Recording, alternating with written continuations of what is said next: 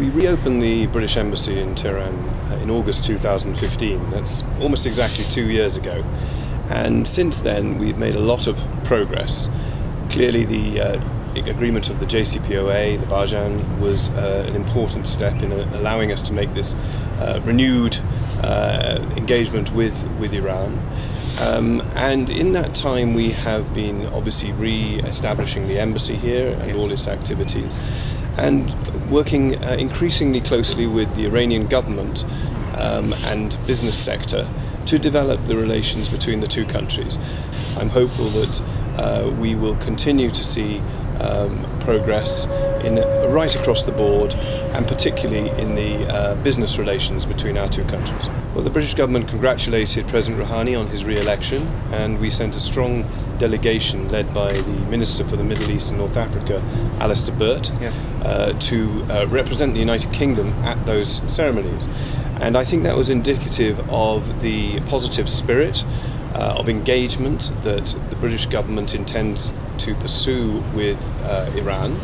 The political will is there from the UK based on the JCPOA, which we are fully committed to, and we hope to build the relationship with President Rouhani's government over the coming months and years.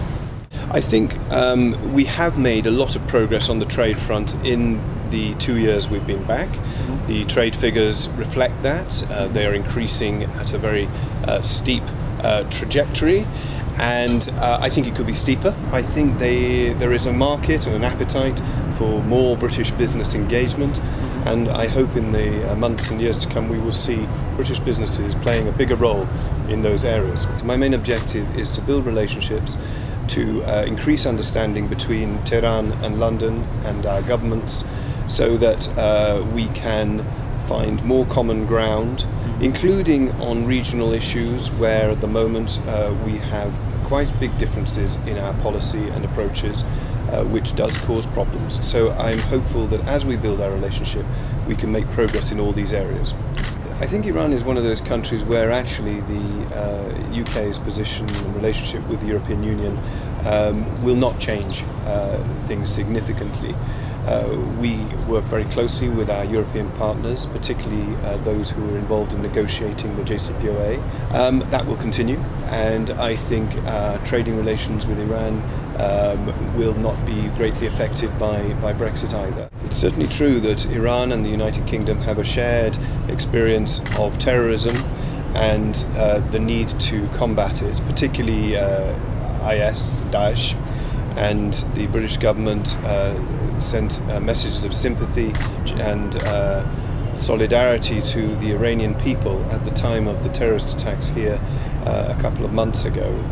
We also have had a very difficult summer in the United Kingdom with terrorist attacks in Manchester and London. So th- there is a shared understanding of the challenge and the need to do more to combat terrorism. I can't speak for the uh, government of the United States of America, the British government, however, is fully committed to the JCPOA Barjam and to its successful implementation. Uh, we are working hard with all our partners and with Iran to make a success of the uh, JCPOA. And um, we will continue to engage all our partners to that end. Building up of commercial links between Iran and the uh, international uh, economy is an essential part of making the JCPOA work uh, both for the people of Iran and to create greater stability um, within, within the region, and to build confidence in the relationship between Iran and its international partners, including the United Kingdom. Um, banking uh, and financial services are clearly required in order to allow business to operate effectively. And uh, although the decisions, of course, uh, on whether to offer financial services depend on private institutions, their commercial decisions, and British government and other governments do not have a great deal of influence, if any, over those decisions. At the same time, um, my government does recognise the need to make progress and to build confidence uh, in institutions and banks dealing with financial services to facilitate the success of the JCPOA.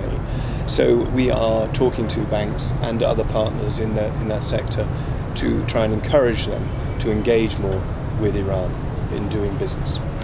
When the British Embassy was closed for four years until August 2015, two years ago, um, we obviously didn't operate a, a visa service inside uh, Iran for Iranians. Um, and Iranians could get visas by going to other regional centres such as Dubai or Istanbul to get their, their visas for the United Kingdom.